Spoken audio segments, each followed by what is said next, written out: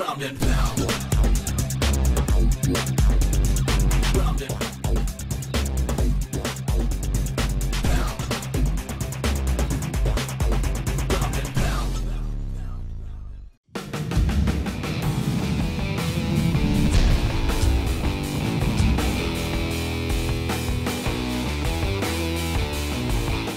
GMP 1 TV hier beim Swiss MMA Championship Nummer 4 in Basel. David Palukan an meiner Seite mit seinem Team, wie man hier schon sehen kann. Fight School Hannover in der Haus. Ähm, es lief ja besonders gut für dich. In Runde 1 war schon Schluss. Fass den Kampf vielleicht am besten aus deiner Sicht für uns zusammen. Ja, der Gegner war stark, hat, mir, hat Spaß gemacht mit ihm zu kämpfen. Ich wollte eigentlich ein bisschen Stand-up mehr machen, aber er hat, er hat mich geshootet und das war sein Fehler. Ja, man kennt es ja von dir, du gehst ja nach Möglichkeit gerne auf den Boden. Das war ein Fehler, wie du gerade schon gesagt hast, von deinem Gegner. Ähm, wie war denn der Gameplan? War, warst du von vornherein schon drauf fixiert, den Kampf auf den Boden zu bekommen? Oder wolltest du wirklich äh, es ausprobieren, um zu sehen, klappt's? Und wenn es klappt, im Stehen bleiben? Wir hatten keinen Plan gehabt, äh, weil wir haben den Gegner gegoogelt, wir haben nicht viel gefunden und da haben wir uns entschlossen, einfach ihn so zu nehmen, wie er kommt. Ja, das war so der Plan. Und ähm, auf dem Boden gab es da irgendwelche Schwierigkeiten oder wusstest du schon, wohin die Reise geht, als du dann äh, zum Choke angesetzt hast? Ja, Schwierigkeiten gab es da nicht so viele, aber ich wusste nicht, wo die Reise hingeht, aber ja, zum Glück ging die gut aus, die Reise. Ja, dann frage ich das Team, das ja sehr glücklich aussieht, von außen nochmal eure Sicht der Dinge. Wie habt ihr den Kampf vernommen? War alles nach Plan oder gibt es das eine oder andere, was man verbessern könnte? Ich fange an und gebe es dann weiter. Alles klar. Ja, also ähm, wir hatten so einen geringfügigen Gameplan, ja. Und zwar, wie gesagt, wir wussten nicht viel über ihn, ähm, aber wir wussten, unsere Stärke ist der Boden und von daher wussten wir, früher oder später geht es auf den Boden. Ähm, es war schade, dass wir nicht so lange im Stand-up waren. Äh, weil er hatte gerade angefangen, die Distanz gut reinzukriegen, die Tritte ein bisschen abzufangen. Ich glaube, das hat der Jerome gemerkt und suchte dann den Clinch. Für ihn ein fataler Fehler. Äh, für uns genau richtig, hat genau in unseren Plan gepasst und äh, dann hat David halt den Sack zugemacht. Und ja, kann er gerne wieder so machen.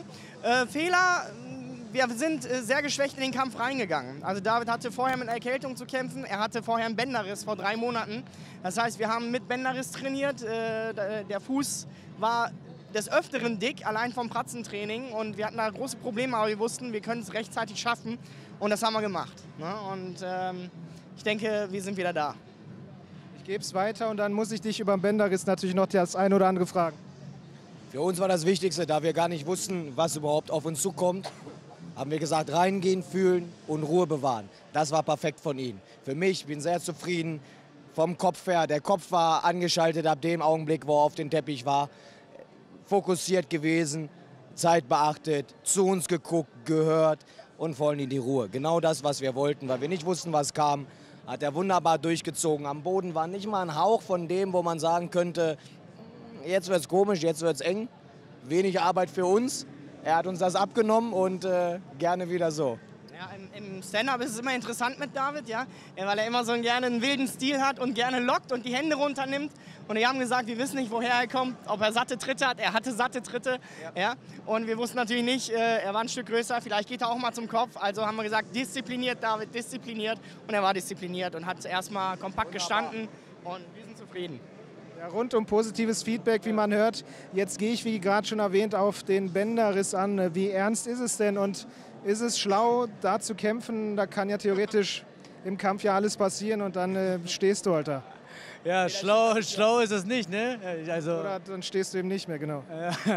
schlau ist es nicht, da zu kämpfen, aber wir wollten den Kampf haben, wir mussten ihn machen und äh, ich hatte ein Jahr nicht gekämpft gehabt und ich musste wieder rein und äh, das war wieder so quasi der Startschuss, dass es wieder weitergeht und wie jeder Kämpfer weiß in der Vorbereitung, jede Vorbereitung, die ohne Verletzung, die man überlebt, das ist keine Vorbereitung. Also man hat immer Wehwehchen und das war mein Wehwehchen. Wehwehchen, ja, wie, apropos Wehwehchen, wie sieht es denn jetzt gerade aus? Wie fühlt sich das Knie an? Äh, nicht das Knie, das ist äh, das Gelenk, das Fußgelenk. Oh, Entschuldige, ich dachte, es war Bänder im Knie, aber Nein, du meinst das Gelenk. Das Fußgelenk, das Fußgelenk, ja. Also ich kann nicht treten, das, ja. treten kann ich nicht. Aber was bringt das jetzt für die Zukunft? Hast du mit deinem Arzt schon gesprochen? Ähm, muss da was gemacht werden nein, oder nein, reicht das, wenn du es tapest und kühlst und ähnliches? Ich spreche un ungern mit Ärzten, weil die sagen dann, hör auf damit. Nein, also es ist okay. Ich werde jetzt das ein bisschen äh, natürlich äh, intensiver jetzt behandeln mit äh, speziellen Training, dass es wieder stabil wird. Ansonsten mehr kann man nicht machen. Das ist so der Plan jetzt. Ja. Was, was bringt die Zukunft? Wie geht es mit dir weiter? Ist schon was geplant? Ja, Zukunft. Ich bin 34, ne? Ich habe so eine große Zukunft habe ich nicht mehr in den Sport. Ich hätte gerne noch drei, vier Kämpfe würde ich noch machen und dann ja, wenn Murat das erlaubt natürlich. Ja, er, ist, er ist immer ein bisschen beratungsresistent, ne? sowohl was Ärzte angeht, als auch was Trainingseinheiten oder äh, Abfolgen angeht. Ne? Aber wir können ihn schon einigermaßen mittlerweile in eine Form quetschen, weil es ist immer schwierig, wenn man sein eigener Boss ist und dann wieder alles abgibt. Ne? Das ist immer sehr schwierig. Und, aber er kriegt es mittlerweile hin, auch mal wieder die Verantwortung abzugeben. Nur das mit den Ärzten, das müssen wir noch in ihn reinprügeln. Vielleicht funktioniert es. Aber kämpfen wird er auf jeden Fall noch, wenn sich gute Gelegenheiten anbieten. Und da haben wir ein Auge drauf und äh, Jetzt kümmert er sich erstmal ein bisschen um Familie. Oder gibt es technische Schwierigkeiten im Hintergrund? Naja, lassen wir uns davon nicht ablenken. Wir wünschen dir alles Gute, ganz viel Gesundheit, dann eben auch, dass du demnächst topfit wieder starten kannst und sind gespannt, wann wir dich wieder als nächstes sehen. Das letzte Wort gehört dir, wenn du noch was auf dem Herzen hast.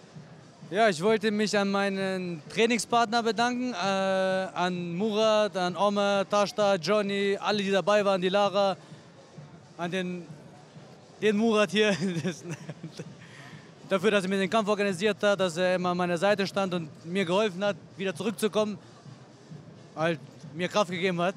Das fand ich super. Und an, an Daniel, der mich hier komplett ruhig gehalten hat, das war wie eine, wie eine Tablette. Also das hat richtig gepasst.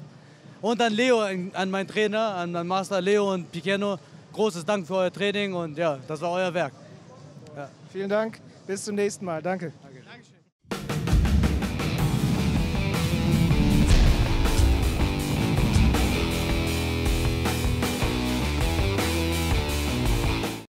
Round and pound. Round and.